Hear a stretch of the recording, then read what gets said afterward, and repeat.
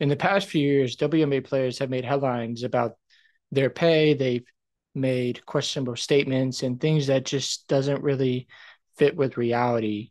Well, recently there was a player named Kelsey Plum, and she had to say this about shared revenue with the NBA. We're not asking to get paid what the men get. We're asking to get paid the same percentage of revenue shared. Okay. You know what I'm got saying? It, got Got it. it, So got that's a huge misconception. That's a huge Yeah, misconception. Got it. Okay, for good. Yeah, because every video is like, oh, this person gets paid this, this this no, person gets yeah. paid that, right? So I want to be really clear about that. Like, I don't think I, I should get paid the same as LeBron. Right. But the percentage of revenue, like for example, they sell my jersey in Mandalay Bay, I don't get a dime. you don't get any money from jersey sales? That's crazy. The, in the NBA, um, they have percentages of revenue shared for the players, right? Right. So jersey sales, obviously, their TV contracts. You see these every year; these contracts get bigger and bigger and bigger, right? Yeah. Massive. But but that's because their CBA it negotiates where the you know if the owners are making certain types of money, they get that as well. Got it. In the WNBA, that's not the case.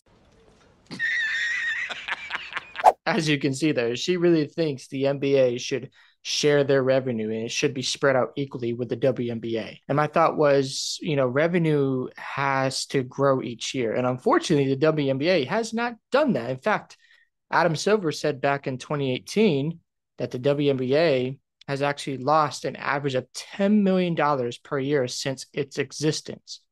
And it's been over 25 years since they've entered the league, since they've developed their league. Now, with that being said, I do agree with her statement about jerseys being sold. They should have some type of compensation for that. If the NBA is getting theirs, the women should get theirs. I'm okay with that. I'm not okay with you thinking, oh, you sh- we should be sharing the revenue. We should be spreading that out to us when really you're not drawing the same views. You're not getting the same attention. It's not because you're a bad product. It's not because nobody wants to watch it. You just you're not getting as much attention. So how do you fix that? Well, you take what you have now and you grow it organically. And if you can show the NBA that, hey, we're making revenue, then they might be able to help you out some more. But if you're always losing money every year, why would they invest in you? It's not going to work out. It's not going to be a win win situation. And why are we complaining now? The CBA back in 2020, according to Zargo, as you can see here, they actually increased the cap. The players are going to be able to earn more than 500,000. Yeah, 500. Over 500,000 a year. That's over half a mil. And the average salary is over six figures a year. So you mean to tell me that you can't manage your money, that you can't take your money and double your income? Really? That kind of money, you just can't do it? So what are you doing now? Are you just wasting away on your favorite hair products? You know, you wasting away on cars, on houses. Not to say those are bad things, but man, if you really believe in your league, then put your money where your mouth is. That's all I'm saying. And if you want it to get better, make it better. Because here's what the audience sees. They see this. One minute remaining. Rossi, no look feed inside to Dupree. What a pass! and they see this. Contact from Jermaine O'Neal got a piece of it. Wade. Oh, a facial! Yes, and a foul. So, which one are you, do you think the fans are going to watch? Hmm.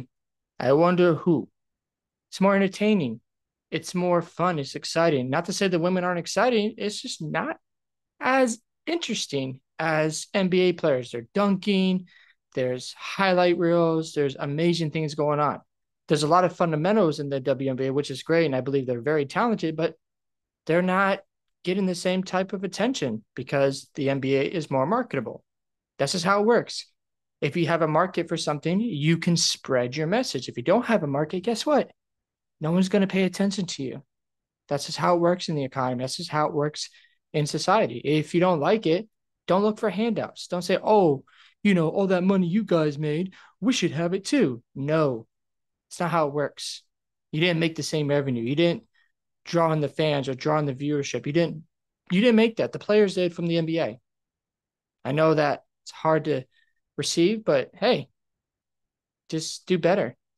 And you know, when I see this inside, it just drives me crazy, especially as a man. You know, you really have to watch yourself with women these days because you already know as men, we have to really just be careful with the, the feminist movement and, you know, thinking that men are just evil and they're just out to destroy everything. And that's not true at all. We just have to make sure we continue to stand by what we believe, follow our convictions. And if you don't like it, cool, that's fine.